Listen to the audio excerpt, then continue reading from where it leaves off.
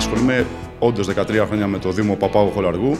Η ενασχόλησή μου ήταν ε, κάτι που με διέφερε για τα κοινά του τόπου μου να, να μπορούμε να προσφέρουμε, να μπορούμε να είμαστε ε, συμμετοχικοί, να είμαστε ενεργοί πολίτες.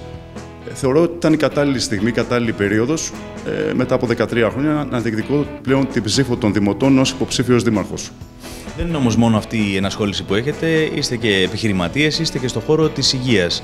Πώς η διοίκηση ε, μιας επιχείρησης μπορεί να συμβάλλει και στη διοίκηση ενός Δήμου; Ασχολούμαι με την, στον τομέα της υγείας ε, ακριβώς μετά τις σπουδές μου. Είναι γύρω στα 18 έτη που ασχολούμαι με το, το κομμάτι στον τομέα της υγείας. Ω τέλεχος πολυεθνικών εταιριών. Ε, management είναι και, στη, και στον ιδιωτικό τομέα. Management είναι και η διοίκηση ενός Δήμου. Πρέπει να έχεις καλούς συνεργάτες, όπως και στις εταιρείες πρέπει να βρεις καλούς συνεργάτες να βγουν έξω στην αγορά. Έτσι και στο Δήμο είσαι αναγκασμένος να φτιάξεις μια ισχυρή ομάδα για να διοικήσεις το Δήμο.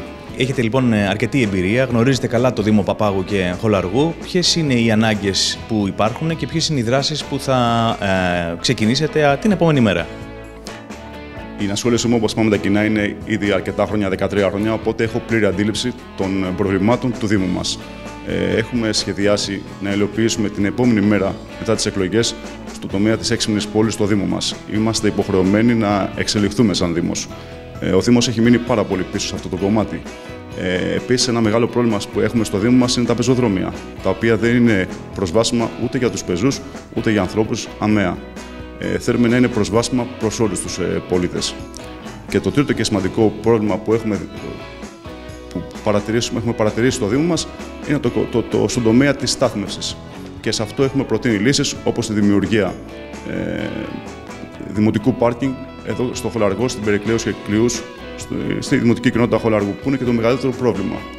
Να ξαναγυρίσουμε λοιπόν στο χώρο της υγείας και από όσο γνωρίζουμε, διατίθεστε να κάνετε αρκετά πράγματα. Πείτε μας δύο λόγια γι' αυτά. Αν και δεν είναι αρμοδιότητα του Δήμου μας ο τομέας της υγείας, εμείς, σαν ε, Δημοτική Παράταξη, έχουμε σχεδιάσει ένα πολύ ολοκληρωμένο πρόγραμμα για την υγεία στο Δήμο μας. Έχουμε ξεκινήσει με την τηλεπρόνοια και τη δημιουργία έξυπνων σπιτιών για άτομα με ειδικές ανάγκες, που αυτό είναι μέσω της συμμετοχής μας στο ευρωπαϊκό πρόγραμμα ActivateS. Έχουμε δεσμευτεί για την αγορά ασθενοφόρου στο Δήμο μας, ούτως ώστε να μπορούμε να μεταφέρουμε ε, τους συμπολίτες μας άμεσα και έγκαιρα στο νοσοκομείο. Ε, έχουμε, θα δημιουργήσουμε μια πενταψήφια ή τετραψήφια τηλεφωνική γραμμή για, για ψυχολογική υποστήριξη εφήβων, ενηλίκων και παιδιών. Ένα ακόμα στα πλαίσια είναι η εφαρμογή ηλεκτρονικού συστήματος υποστήριξης ανθρώπων, ατόμων με αυτισμό, που είναι κάτι σε πολύ πρόωρη μορφή του, αλλά εμείς θα κοιτάξουμε να το αξιοποιήσουμε και στο Δήμο μας.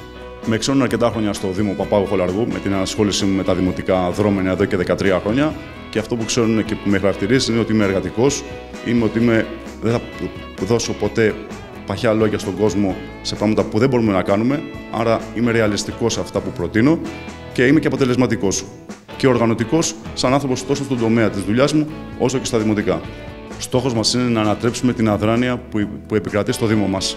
Μια καλή δημοτική αρχή δεν είναι αυτή που είναι, κάνει μια διαχειριστική πολιτική, αλλά μια καλή δημοτική αρχή είναι αυτή που ανταποδίδει στους δημότες μέσω των προγραμμάτων της.